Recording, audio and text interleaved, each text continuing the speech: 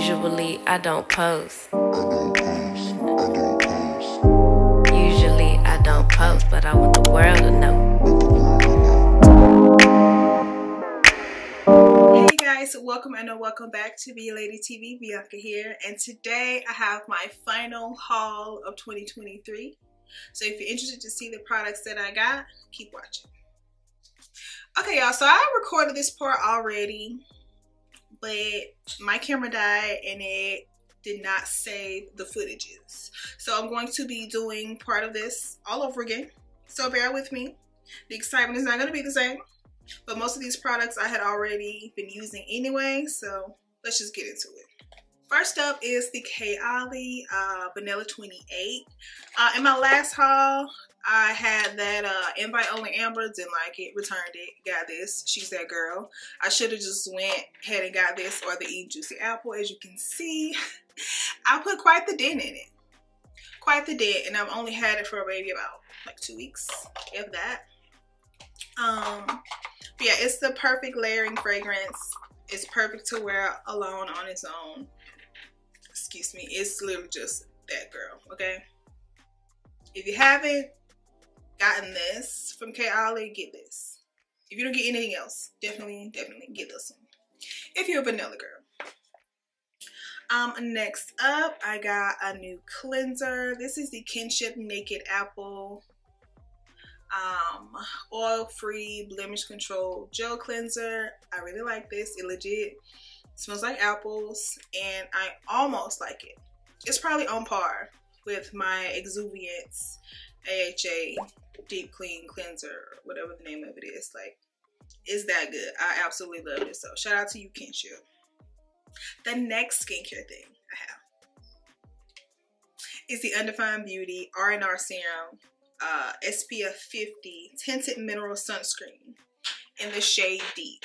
I have this one already in just like the regular uh, SPF. That's not, it's like tinted, but it's not like this. And I think when they say tinted, it's just not like white. But this one is like, this, again, the shade Deep. That's what it looks like. And it's literally what I have on my face today. See, I already did the swatches for y'all. So like blend it out and it's gone. It's got nice coverage. All I did was that, some concealer, my brows and mascara of course, and I put like some powder on top of it and I really am enjoying this face. So Undefined Beauty, you did your big one with this one, okay? Okay. Um, then I have the Morphe Broad Spectrum Sunsetter Setting Spray SPF 30. I had one of these before, but I lost it. It disappeared into thin air, grew legs and walked away. I don't know, but it's not here, okay? But I really like this for, of course, days when I'm wearing makeup. and I want to reapply SPF, and I can't because I'm wearing makeup. So yeah, I did spray this already on my face the first time I recorded, so I don't want to overdo it. But it does give like a nice glowy uh, finish and it sprays really nice and it has a good like tropical scent. So this right here is the Dior Backstage Concealer, Flash Perfector Concealer. I have the shade 4W. I, um, a while back when I first got my Dior powder, the face and body powder, powder no powder, I think I did like a short where I was thinking about doing a full face of Dior, you know, almost full face of Dior, that little thing that I've been doing. And I really wanted to try it because I have that powder and I have the foundation, the Backstage foundation. So I got the matching concealer. That's what the applicator looks like. It's like a like a paintbrush almost. I don't know if you can see that. Like see the bristles? Yeah and that is the color. So I do think that'll be a nice color for a nice under eye shade. Then I got the Dior Rosewood um, set. I don't know. I don't know. This is the lip maximizer in intense rosewood. It's what I'm wearing on my lips. Super cute. With just like a NYX lip liner, this, and then I have that Fenty hologram lip gloss like in the center. So pretty. And then this is the Dior Rosy Glow. Yeah, Rosy Glow Powder Blush in the shade Rosewood. That is what it looks like. I do feel like it looks like a shade that I have already. But I think it'd be cute. If not, y'all know I don't mind taking stuff back. But I didn't swatch this. Let me swatch it. Hmm. I don't see it.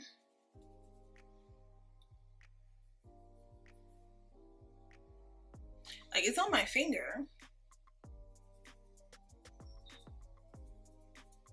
Okay, it's right there. I don't know, Dior. I don't know. Okay, so the last things I got Mielle, um, which is a hair care brand that I really enjoy. They had like a crazy sale. Y'all know I gotta get them now. They had like a crazy Black Friday sale where like everything was five dollars. Okay, so I picked up a few things. So um again, some of it I have been using. This is the um pomegranate and honey curl defining mousse with whole. Yep, it's good. That's what I used on this. You probably can't tell, but this is like a blown out Bantu knot. Some of the pieces are like getting straight or whatever, but this is really good. It smells good. A little bit goes a long way. Um, I feel like that with a lot of mousses actually. But um, yes, really super good. And the the curls that's holding are holding out. Okay, you see, yeah. So I really like that. Um, this is a product that I have used before. This is the pomegranate and honey curl refreshing spray, light holding mist with intense hydration to shine and redefine thick curly type four curls, anti-frizz. Yes, I usually just use this like in the morning after I take my hair out of my bonnet spray it all over and then you kind of just like juice it up so it looks like something, right? Um, I think I got two of those. Two of those. This one broke. I started to like email them and complain, but I was like, I'm just gonna pour this into that one when I'm done. I'm not even, I just don't have the energy for stuff like that. And it was $5. Like, I have another bottle. It's, it's fine. It's fine. um, this one is the Mongongo Oil Style Setting Spray. I haven't used this one yet, but it's to set the hair for indirect heatless styles. So apply the damp hair, comb through, blow dry, or set. I don't know. I'm to try it. We'll see which side of the spectrum it ends up on when I do it empties on it. But yeah, I got that. I got the Rice Water Collection Shine Mist. Uh, excellent for length retention for daily use. As you can see, it's broken. And I'm just gonna put this in a different spray bottle too. Like I just don't have it in me to like harass companies about simple stuff like that. So there's that. I hadn't used it obviously because it's broken. And this is the Rice Water Split End Therapy. Um, this is you're supposed to put on kind of like a a treatment. So what is it? Dime size amount into the palms of hand, manage, massage, excuse me, and apply product from root to tip.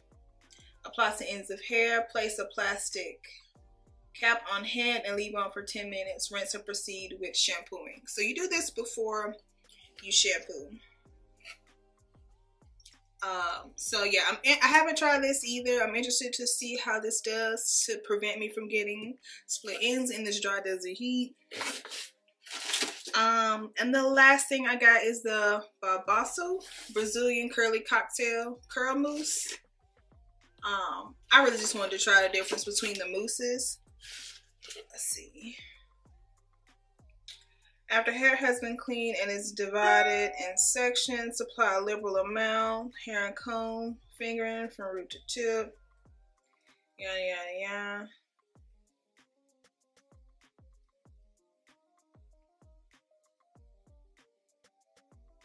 Yeah, so I don't, I don't, I know. It's a mousse. We're gonna work it out. And that's it, you guys. That is the last Be a Lady TV haul of 2023. Okay, thank you guys for hanging out, watching me do this final unboxing haul update situation. Let me know what you guys are buying or not buying in the new year. I think I'm done buying, well, I'm obviously done buying hair products because I don't need that. I think I'm going to chill out on fragrances for a while. I think I am. This has been a year of fragrance for me, but we'll see. All right, y'all. I'll see you on the next one. Don't forget to like, comment, subscribe, and I'll see you later. Bye.